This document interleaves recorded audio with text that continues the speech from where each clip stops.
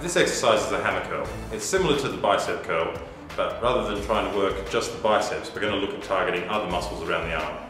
To set this exercise up, hold the wrists in a neutral position, allow yourself to sit forward slightly, keeping the knees and hips soft, and bring the weights up towards the shoulder, making sure you don't turn the wrists on this occasion.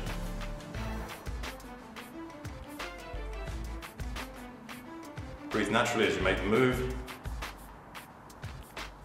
When finished the exercise, put the weights down safely, making sure you don't hurt yourself and others around you.